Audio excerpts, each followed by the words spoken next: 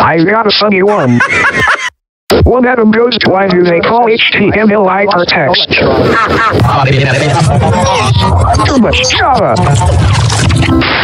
And the one goes, I'm positive. Doesn't I enjoy your company?